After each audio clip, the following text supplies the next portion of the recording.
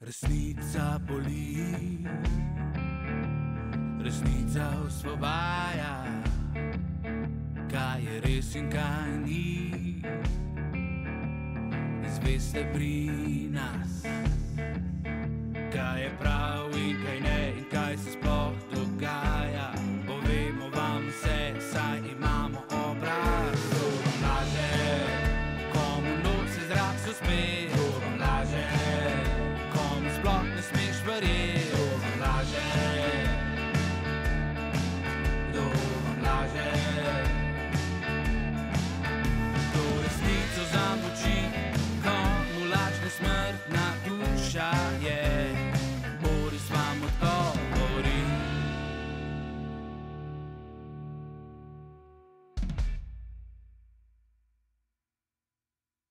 Drage državljanke, dragi državljani, spoštovani davkoplačevalci, dober večer v oddaji Kdo vam laže.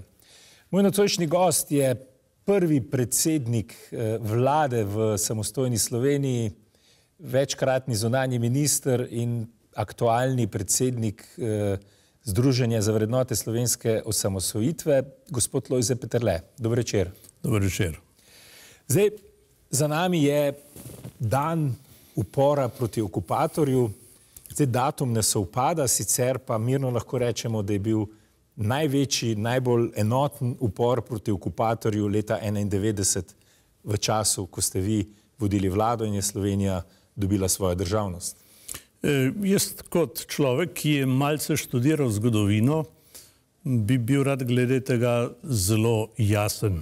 Spomnim se debato o praznikih e, v času Demosove večine in Sveda je treba jasno povedati, da 27. aprila v Vidmari vili ni, ni bilo nobene ustanovitve osvobodilne fronte.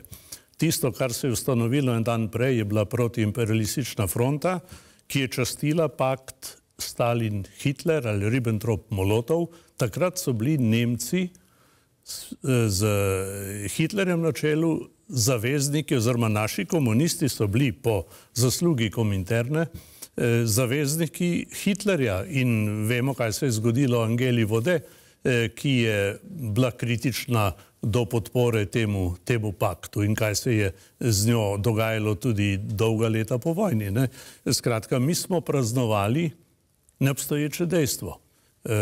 Zadeva se je spremenila sveda 22. junija, ko je Hitler napadel Sovjetsko zvezo, potem pa so sveda tudi naši komunisti obrnili ploščo, in, eh, ampak tudi od tu naprej lahko marsičem debatiramo.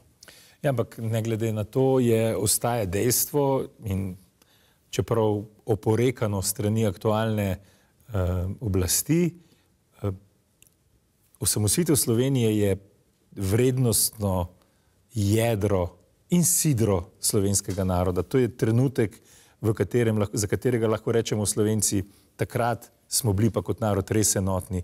Mislim, da prvič uh, uh, v zgodovini, da smo bili res tako uh, enotni v tej odločitvi, da si zaslužimo in tudi naredimo to državo. Uh, nedavno je potekala interpelacija v državnem zboru, ena od stvari je bila tudi ukinitev muzeja osamosvojitve. Nekje smo skrenili z bistva z poti.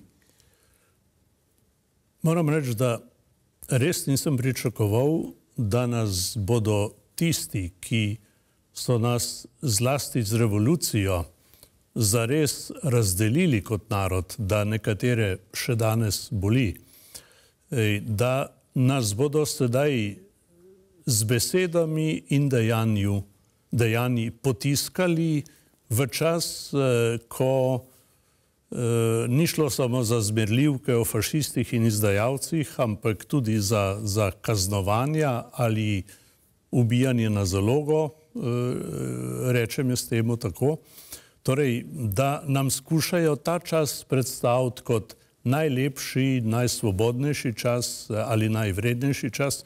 Torej, jaz trdim, da, tako kot ste rekli že vi, da, da, da močnejše točke skupne zavesti, enotnega nastopa, skupnega odpora, kot je bilo rečeno že prej, v naši zgodovini ni, ni bilo. Jaz ne bi šel nazaj do Valhuna in kaj ti mara borbi, borb ali boji z eh, Bavarci in tako naprej. Ne? Torej ta osamosvojitev tako štrli iz naše zgodovine, da jo je res težko primerjati s čimerkoli prej. E, jaz sem rekel že v teharih leta 90, klobuk dol vsakemu domoljubnemu dejanju. Rekl sem tudi na zborovanju eh, v brano samosvojitvi in proti ukinitvi samostojnega muzeja v samosvojitvi, da se klanjamo tudi vsemu, kar je kadarkoli prispevalo k slovenski državi. Ne? Ampak ne moremo pa šteti k osvobajanju 700 in več množičnih morišč, grobišč, Ne moremo šteti k osvobajanju revolucije, ki nas je razdelila. Ne, vidimo pa v osamosvojitvi, eh, v kateri, ki eh, dokazuje tudi enotnost v kritičnih trenutkih, dejstvo, da, je, da so vse politične stranke 6. decembra 90 podpisale sporozum, kako gremo na plebiscit, da je bil brez glasu proti sprejet zakon o plebiscitu, kar je gotovo tudi vplivalo na dober rezultat eh, plebiscita.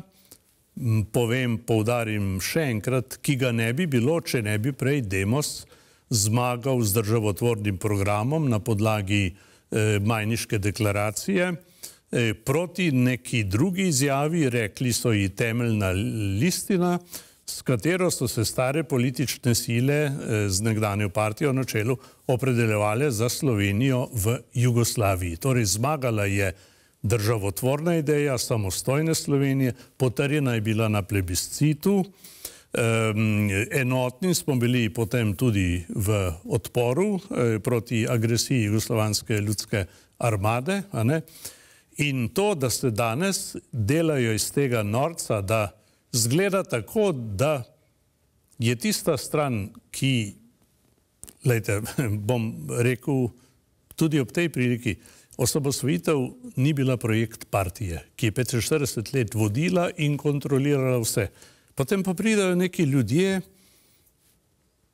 ki zmagajo prve demokratične volitve po drugi svetovni vojni oziroma po letu 1938 z idejo samostojne in demokratične Slovenije. Torej, partija je na nek način, bom tako rekel, doživela dva poraza. Zgubila je državo, v katero je verovala, in zgubila je političen režim, ki bo je načelovala, pa zgubila je celo oblast. Se pravi, tri, tri stvari. Ne? To, Jaz tega doslej nisem tega tako komentiral, ampak glede na to, kar se zdaj dogaja, kako omalovažujoče, cinično, ponižujoče govorijo o samosvojitvi, pri kateri imajo celo svoj delež, tudi Kučan je odigral nekatere partije, jaz bi rekel temu pozitivno in se ga celo branil v eh, slovenskem parlamentu eh, po brionski deklaraciji, eh, kjer je on vodil pogajanja. Ne? E, torej, želim biti objektiven, želim biti stvaren, želim biti pošten oziroma ve, verodostojen, ne? ampak da se zdaj dogajajo taki eh, breku napadi, da pride do zlorabe eh, državnega medija eh, pri enem takem napadu, ki se ga je prvoščil Sašo Hriba, recimo. Ne? Eh, lejte, to pa zdaj pomeni, da je njim, breku, da jim je nerodno ali da obžalujejo, da so bili zraven. Mi imamo zdaj le, takrat se spomnim, je Kučan napovedal Corriere della Sera v enem intervjuju, da zdaj bo pa sledil revanšizem. Ne? To, kar mi zdaj doživljamo, jaz temu rečem, to je revanšizem poražene strani, ki je težko vzela na znanje osamosvojitev. Omenil ste Saša Hribarja, za gledalce deva pogledati to izjavo, eh, pa bova komentirala, da bodo vedeli, o, o čem govorite. Ni bilo osamosvojitvene vojne, nikoli. Ni bilo osamosvojitvene vojne, nikoli, pravi Sašo Hriber. Um, smo sanjali takrat? Ne vem, kdo se spomni tega na tak način. Ne vem, odkje je Sašo Hribarju katerega humor sem večkrat občudoval. Odkje je njemu to? Jaz vem, da je bil ta mož tudi teritorijalc, bil je v neki posebni enoti tam na Hudem, nekje na Dolenskem. In jaz težko jemljem na znanje, da bo poučeval slovensko javnost o samosvojitvi in vojni nekdo, ki je imel takrat polne hlače in je ušel iz enote teritorijalne obrambe in so ga našli doma in so ga pripeljali nazaj. Torej, ne želim, torej, najraj ne bi komentiral nekega dezerterja, ki se danes cinično dela norca iz slovenske samosvojitve. Bi, bi rad videl, bi ga rad videl, eh, da bi srečal koga od svojcev žrtev vojne za Slovenijo. Če ni bilo vojne, kaj je on delal v teritorijalni obrambi? Pa če ni bilo vojne, zakaj je bežal? Ja, to, torej, to, to, to je zdaj, to, to je tak paradoks, to je tako skregano samo v sebi, rekel, da res rekel, ne želim iti na, na, na ta nivo. E, mislim pa, da je prav, da sem povedal, da je ta mož dezertiral in da nima, nima nobene podlage za to, kar je govoril. Mi smo pred nedavnim poskrbeli za posnetke e, več kot 50 ljudi, ki imajo nek delež pri osamosvajanju. Poslanci desne in leve strani, eh, eh, iz takratne skupščine, ljudje iz vlade, tudi predsednik Kučan, tudi eh, Emil Milan Pinter. Nihče ni uporabil besed, ki jih je uporabil in zlorabil svoj status v državnem mediju, gospod Sašo Hribar, ki pa vem, da ni edini, ki tako misli. E, torej, zdaj, da smo mi norca delali iz temelja, iz katerega živimo, iz česar smo prišli na politični zemljevid sveta, vodili varnosti svet Združenih narodov, vstopili v Evropsko zvezo, v NATO. Lejte, to, to, tega res nisem pričakoval. Ampak to je nekako trend, ta um, omalovaževanje uh, osamosvojitve, osamosvojiteljev, uh, ljudi, ki so pomembno prispevali k nastanku uh, države, to nekako se kar širi čez našo družbo. Zdaj, mislim, nedavno je bilo 31 let, kar smo postali polnopravna članica Organizacije Združenih narodov. Eh, čez en mesec bomo eh, praznovali 32 let naše samostojnosti. Eh, ministrica za kulturo pa gre proslavljati ustanovitev zločinske teroristične organizacije, ki se je takrat na Čebinah imenovala Zveza komunistov Slovenije. Ne? Ja, zdaj ste omenili še eno dejstvo iz slovenskega narobe sveta, kot jaz temu rečem. Ne? Od ministrice za kulturo bi pričakoval ravno zato, ker se tako imenuje, kulturen odnos, verodostojen, resnicoljuben odnos, namreč slovenska osamosovitev ima močno korenino eh, v slovenskih kulturnikih, eh, še posebej v pisateljih. Ne? Na vse zadnje je eh, Majniško deklaracijo prebral pesnik Tone, Tone Pavček. Ni, ni treba tukaj, rekel, lahko bi omenjali Jančarja, Grafenaurja, razne ljudi, ki, ki, ki, ki, šeliga, ki imajo snoja, ki imajo delež pri tem. Ne? In zdaj je to zdaj norčevanje z osamosvojitve in osamosvojitelj je postalo skoraj da na, nacionalni šport. Ne? In rekel, jaz ne poznam nacije, ki bi se tako norčevala iz tistega, iz česar, iz česar živi. E, lejte, tako, jaz sem prepričan in se tudi na prešerna sklicujem, ki se je spominjal v eni od svojih pesmi sama oziroma kralja sama. Ne? Odkar je tista oblika države zmrznila, če tako rečem, in je potem smo živeli v, v, v, v, v, v, v karantani nekaj časa ne, in do 1414 i, eh, volili eh, koroške kneze eh, v slovenščini, ne, oziroma predajali oblast eh, vojvodi po slovensko, jaz sem prepričan, da je vsta čas v slovenskem narodu živela ideja lastne državnosti in mene ne čudi, da je eh, program Zedinjene Slovenije ni pisal Dolenc, niti Štajerc, niti Gorenc, pisal ga je Korošec Matija Marijer Zilski. iz pokrajine, v kateri se je državotvorna ideja rodila in je bila tudi uresničena. Ne. Lejte, zdaj pridejo neki ljudje, ki, ki, ki, ki jih zgodovina ne zanima, ki mislijo, da se je svet začel z njimi, ki bodo vse zamenjali, pa vse naredili na, na novo. Ne. Torej, mi smo to, zakaj sem jaz kritičen do tega? Zato, ker smo to enkrat že doživeli, da bomo vse naredili na novo. Ne. Ampak smo videli, da od, od tega koncepta, eh, ki temelji na konceptu sovražnika, smo se poslovili ravno z osamosvojitvijo. Osamosvojitev ne pomeni samo izstopa iz Jugoslavije, pomeni tudi odločitev za demokratično, suvereno državo. Ne?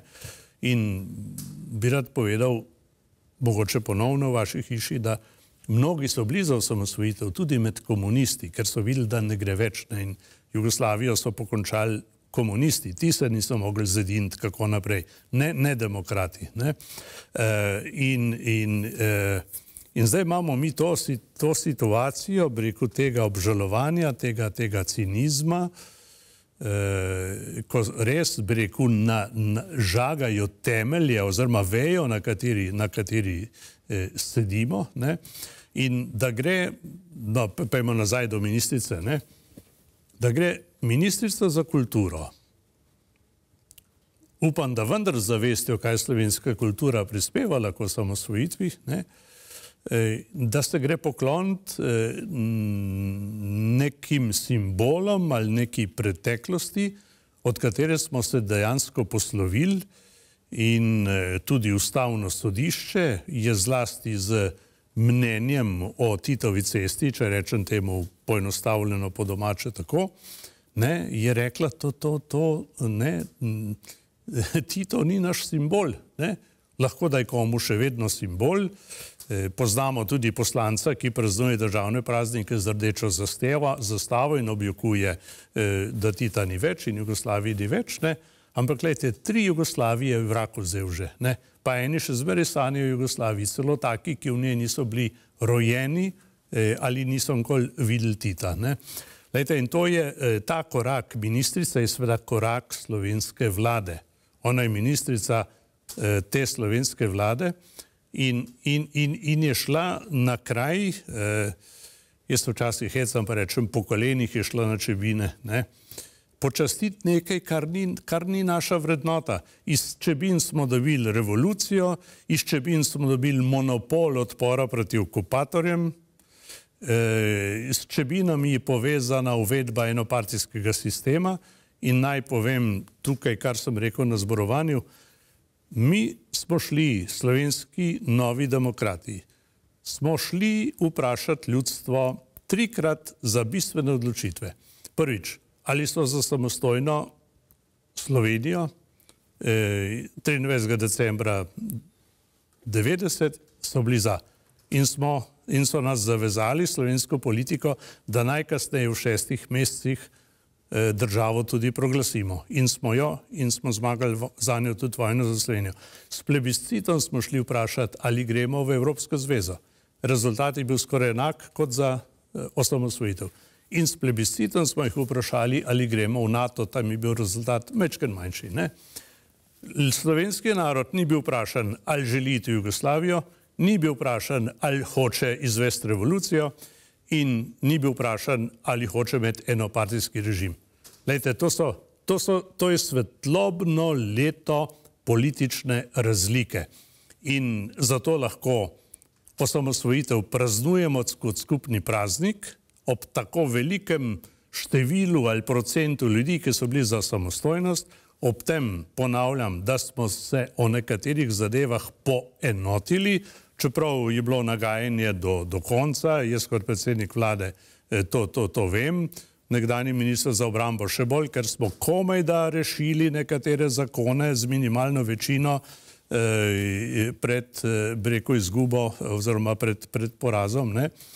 Eh, ampak vendar v slovenski osamosvojitvi je toliko ljudske enotnosti in je tudi taka politična enotnost, da mi to lahko praznujemo skupaj in tega bi se morali zavedati, iz tega bi morali živeti, iz tega bi morali rasti. Prej smo pa praznovali en kup praznikov, ki so nas delili, ki jih je bilo težko praznovati, ker smo zmeraj praznovali proti nekomu izmed nas, če temu tako rečemo. Ne? In lejte, za osamosvojitve imamo tri državne praznike ne? in eni bi se zdaj iz tega norca delali. Ja, se, mene, mene zanima, jaz sam sebe sprašujem, tudi me zanima, kako vi gledate na to, eh, kaj se dogaja, če greva na, konkretno na ministrico. To ni, eh, to je mlada ženska, ne? Eh, ki ni v resnici tako mlada, da se je rodila v Jugoslaviji, ni, ni začutila tega, eh, tega totalitarnega sistema, eh, ampak ta nostalgija po neki rdeči zvezdi, po komunizmu, po nekem propadlem sistemu, ki je propadel na celem svetu, zdaj mislim, da še kakšna država dve to ohranjata. Jaz bi še nekako razumel, da gre Milan Kučan v Čebine, ki pogreša, da bi bil uh, predsednik partije, pa da bi imel absolutno oblast, ne? ampak da mladi ljudje slavijo Josipa Broza, da mladi ljudje imamo poslanca, ki hodi v parlament za Titovo sliko, s Čegovarjeno sliko. To mi pa ni jasno, kaj, a smo šolstvo zgrešilo, a je premalo zavedanja eh, ponosa na našo domovino. Kje, kje je napaka? Tisti, ki smo doživeli komunizem, rekel, nam je težko razumeti, da se to dogaja. Ne? Jaz sem študiral tudi zgodovino, profesor Grafenauer nas je, nam je predaval uvod v študij zgodovine in je med drugim tudi rekel, ni, včasih je mogoče, ni, ni tako pomembno, kaj se falsificira, ampak je pomembnejše to, o čemer se ne govori. Ne? In mi imamo zdaj že generacije, 30 let, ki o osamosvojitvi bistvenih zadev ne zvedo ljudje ne razumejo, zakaj se je osamosvojitev zgodila. Ali pa so zavedeni celo z idejo, da je bilo z enobejem tako rekoč že vse narejeno in potem se nam zgodi enkrat, eh, tam ne enkrat junija 91, še, še, še osamosvojitev, kot nekako logično in nujno dejanje po vsem tem, kar se je zgodilo. In da imamo mi danes oblast, ki ne loči med jugoslovansko, komunistično, socialistično republiko Slovenijo, in med suvereno Evropsko demokratično republiko Slovenijo. Ne? Torej, če tega razlikovanja ni, potem pomeni, da imamo na oblasti ljudi, ki jim je preteklost nepomembna. Ne? Zdaj, če je preteklost tako nepomembna, potem pozabimo tudi eno B, pa pozabimo še kaj drugega, če preteklost nič ne velja. Zdaj pa generacija ali ljudje, ki nimajo zgodovinskega spomina ali del zgodovinskega spomina nalašč brišejo, ne, potem smo mi ljudje in država v, v zraku. Spomin zgodovinski te zakorenini, te, te poveže s tistem, kar je bilo prej. In nihče se ni rodil sam po sebi, ne iz svoje volje. Ne. Mi smo prišli na svet po volji nekoga, nekoga drugega, če tako rečem. Ne. In zdaj meni je ta odnos do preteklosti, meni to kulturno in civilizacijsko ne gre. Ne. Da, da ljudje nimajo, in imamo zdaj take na oblasti, ki do tega nimajo odnosa ali pa se iz tega, kot smo že rekli, norca delajo. Ne. To, To res pomeni žagati vejo, na kateri sedimo in po svetu se nam malce čudijo. Ja, ta oblast je izgubila občutek za realnost, izgubila je občutek za ljudi, za navadnega človeka, kako živi, živijo v enem, v enem svojem svetu. Uh, in rezultat je to, da, da so ljudje začeli protestirati. Zborovanja so se začela, uh, vse več jih je, uh, zdaj če naredim eno zgodovinsko usporednico, vi ste v Kočevski reki rekli, zadišalo je po slovenski vojski, ne, znamenita vaša izjava. Janez Janša je na, na protestu zoper ukinitev muzeja samosvitev rekel, spet je zadišalo po pomladi. Uh, prejšnji teden smo videli kmete, ki so slovenski kmetje trpežen, dolgo govta trpi in dela da so rekli, dovolj je, prišli so s traktorji v Ljubljano, velik protest, en občutek pomladi se je spet začutil. Mislite, da se zgodovina ponavlja, da bodo kmetje spet nekako tisti jeziček na tehnici, ki bo, ki bo vrnil Slovenijo nazaj na to pot, ki smo si jo nekako zastavili leta 90-91.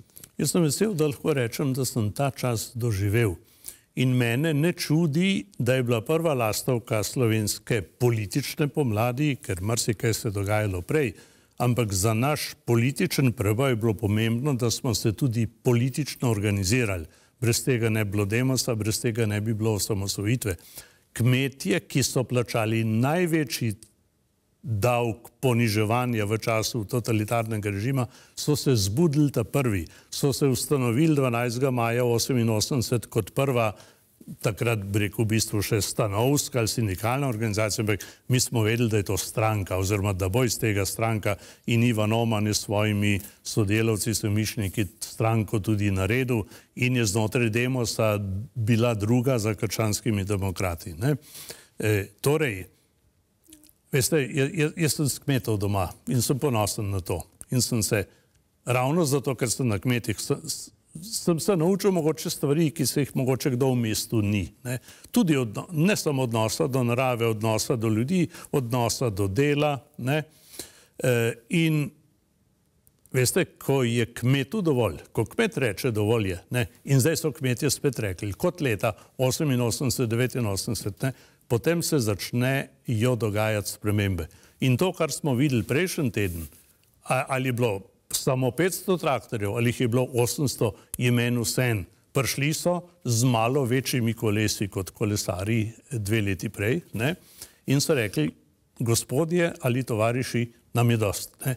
Še eno kravo so pokazali, da so kašni ljubljančani videli, kako krava zgleda. E, Lejte, ta, ta protest, jaz sem hvaležen slovenskim kmetom, da so se za to odločili. Ne? Ker tako imeti tak odnos do njih eh, je ni samo ponižujoče, je tudi škodljivo za celo nacijo. Torej, če, če do tega sloja nimaš eh, verodostojnega oziroma poštenega odnosa, ne? potem plača sveda za to cela, cela nacija. Ne? In da so zdaj kmete rekli, eh, tega je dovolj, sem prepričan, da bo temu sledilo še marsikaj drugega. Dobro, že prej smo videli pokojence eh, na delu, eh, še kakšen drug protest je, pa mislim, da, da, da jih bo še več, ker ljudje se s tem razvojem ne strinjajo, so do njega kritični in sprememba, ki bo sledila, eh, bo zelo pomembna in sem prepričan, da bo vodila v spoštovanje vrednot slovenske osamosvojitve. Iskreno upamo, da se bomo vrnili ne, na, na tisto, kar smo si zastavili. Uh, kar se pa tiče odnosa do kmeta, zdaj ne bom šel v te, bom rekel, stvari, ki jih kmetje neposredno občutijo, prepovedi fitofarmacevskih iz, uh, uh, izdelkov, prekomere, ustavljanje, obdavčevanje. O, oprostite vas, ja? nisem, nisem navaden prekiniti, ampak zdaj ste me spomnili na nekaj. Torej, jaz nisem mogel verjeti, da je zdaj v pripravi nek zakon, ki bo, ki bo neki civilni družbi, ki vemo, kako lepo sodeluje eh, tudi na plačan način z, z, z, z državo oziroma z vlado, da bodo zdaj ti ljudje dobili neke certifikate, da bodo gledali v hleve, kaj delajo kmetje s kravami. Lejte, to, tega... Natanko do tega sem hotel priti, se pravi. pravi čujem, no. Natanko do tega sem hotel priti, se pravi, na eni strani so te, se pravi, omejevanje eh, proizvodnje in mislim, da na, na tem protestu je bilo dobro rečeno, nam kmetom ni problem iti na način predelave hrane, kot so to delali naši predniki. Ne? Ja. Kaj boste pa jedli, ne? premalo bomo predelali. Ampak ta del je pa res poniževalen, to, kar ste že vi načeli. Se pravi, 40-urni tečaj bo opravil, recimo, Enjaša Jenul ali pa Nika uh, uh, Kovač in dobila izkaznico in bo imela pravico priti do kmeta, Kot ki ne da celo življenje to dela, ampak generacije. Eh, skrbijo za živali ne? in bo ona šla nadzirati, ali on zna delati živalmi ali ne. To se mi zdi pa da. ne samo, da je be, bebavo, ampak res žaljivo. Jaz sem gotovo občutljiv ravno zato, ker sem s kmetov doma in lejte, posod, ker sem jaz na kmetih bil, ima živina, ima imena, krave imajo imena, biki imajo imena, psi imajo imena, mački imajo imena. Lejte, ne, tako zares jemljemo živali, da jim dajemo imena, eh, da smo ljubeznivi do njih, eh, živimo na nek način z njimi, tudi ene vrste čustveno življenje. In zdaj zaradi neke situacije, nekje, kjer ta odnos ni bil eh, prisrčen, ni bil ljubezniv in tako naprej, bo, ste, bo zdaj šla država s civilno družbo nad kmeta. Lejte, to, tega, te, to ne more biti. No. Se, se tudi zna slabo končati, ne? mislim, za civilno družbo. Pa ne, da bi kjer nagovarjal, ker v tej oddaji moram biti previden, da me ne razumejo napačno oblastniki, da koga pozivam. Ampak, koliko jaz poznam slovenske kmete, si tega ne bodo dovolili. Ne? Pa jaz vidim tukaj še hujšo zadevo. Lejte, jaz sem posluš, po, pozoren na termine, na besede, na izraze, ki so v rabi. Ne? In danes je podeželje postalo politična zmerljivka. Ne? Imamo mi civilno družbo v, v velikih mestih ali pa več ali manj v Ljubljani, že v Mariboru ali v Celju ali v Kopru tega ni na tak način. Ne? In zdaj se podeželje zmerja kot nekaj zaostalega, desnega, tudi osamosvojitev se, se pripisuje eh, desnici, čeprav v Demosu smo imeli po levih, po desnih strank ne? in že prej sva govorila o tem, kdo vse je osamosvojitev podpiral. Ne? In zdaj se ta, ta breku, ta manih, to manihejstvo, to, ta, to veselje po delitvah v Sloveniji ne, se zdaj seli tudi na ta odnos eh, podeželje eh, mesto. Ne, najlepša stvar, oziroma najbolj štrleča stvar, ki sem jo slišal kot muzikant, sem nekje bral lani, da nekdo je, je, je, je prišel do tega, da naj bi bil eh, najbolj harmonika fašistoiden ali fašističen mm -hmm. inštrument. Le, lejte, kam gredo s tem breku? ne vem, ko bi to pravo besedo poiskal, ne, kako bi rekel, s, s, s tem, ne, ne vem, no, ne, ne, ne najdem prave besede. Ne, to je, to je, za me je to na zadnji koncept sovražnika, ne, ker ti, to, to, to so komunisti genialno obvladali, ne, ti definiraš sovražnika, ker si pokazal na sovražnika, si upravičen, da, da, da, da ga uničuješ in če ga uničiš, si osvoboditelj. Ne? Potem pa izstaviš račun. Ne?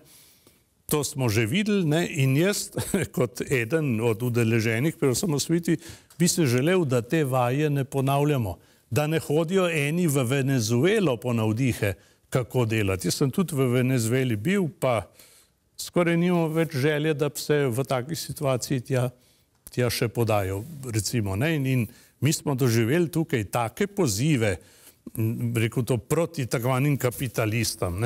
Lejte, jaz pravim, vsak, v vsaki občini bi moral biti vsaj en tak kapitalist, kot je, kot je Boskarol ali Akrapovič ali, ali ne vem kdo. Imamo, imamo super, super podjetnike, ne? ki tudi super skrbijo za svoje delavce. Ne? In okolje, v katerem. Boskarol nima nadur, Boskarol je dal milijone svoji občini, je, je, je, je naredil jih dobrodelnih dejanj, da, da ni zapovedati. In, In take bi tile, tile naši levičari, revolucionarji, bi, bi jih pognali čez mejo. Itak nam, gledajte, zdaj poslušam, ljudje hodijo, podjetniki na Hrvaško, ker imajo tam boljše pogoje za, za ustvarjanje. Ne? Tukaj le pa hočejo imeti višje plače, višje pokojnine, vse višje in zdaj smo mi tudi glede tega, torej upravičeno bi rekel, mrsič, ampak Jugoslavija je bila, v kateri sem jaz preživel 42 let, je bila država, v kateri je bila ideja distribucije, kako bomo delili, je bila vedno močnejša od ideje ustvarjanja. Ne? In tle nas podjetniki, vključno z gospodarsko zbornico Slovenije, ne? nas opozarjajo, da imamo skrbeti, kako bomo ustvarjali, ker če ne bomo ustvarjali, če ne bo pravih pogojev, bomo tudi malo delili, pa lahko potem sanjamo še o novih in novih pravicah. Ja, se tukaj omenil ste Venezuelo, omenil ste eh, te koncepte, ki niso na ključni, se pravi, rušenje temeljnih vrednot, rečemo temu tradicionalne družbe, od družine naprej do, do vere.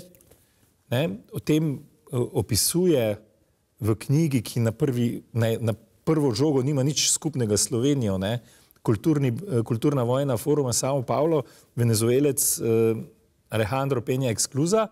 uh, razlaga, da morda deluje kaotično to, kar počnejo, v resnici pa v ozadju načrt osam, uničiti osamosvojitev, razvrednotiti crkvo, razvrednotiti družino.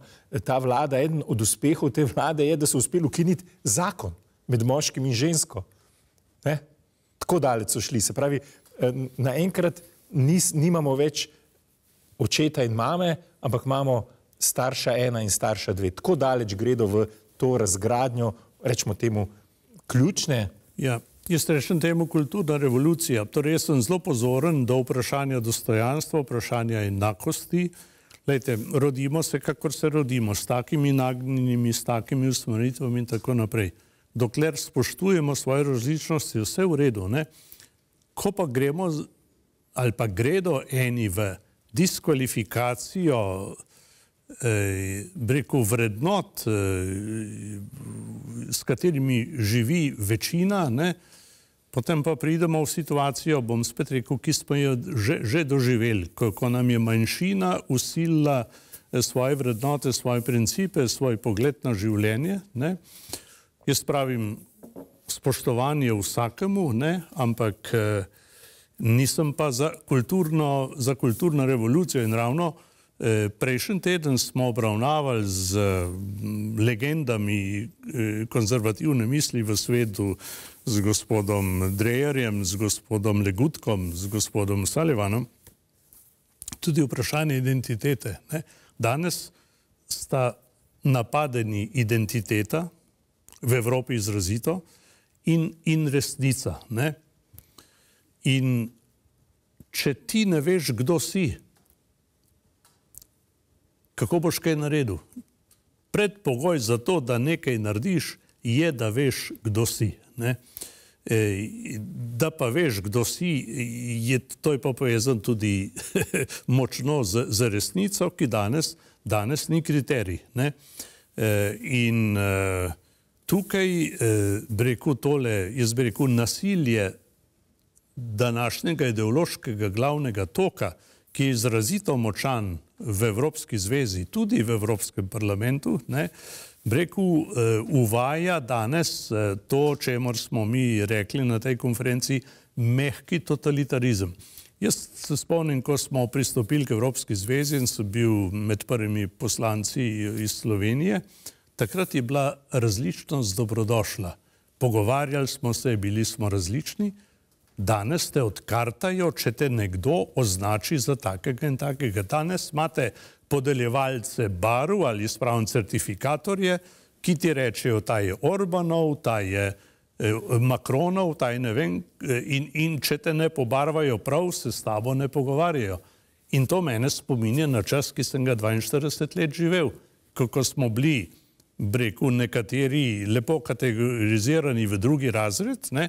vse so tudi takrat eh, krave imela te leta, trava je rasla, ampak živeli smo v nedemokratični družbi z omejeno svobodo, eh, s šipko pozornostjo do dostojanstva vsakega. Ne? In, in, in da se nam ta zgodba ponavlja na, na nov način, breku, je za me preprosto škodljivo in nespremljivo dejstvo. In pozna se zelo konkretno ne, v kvaliteti življenja, na koncu je to posledica.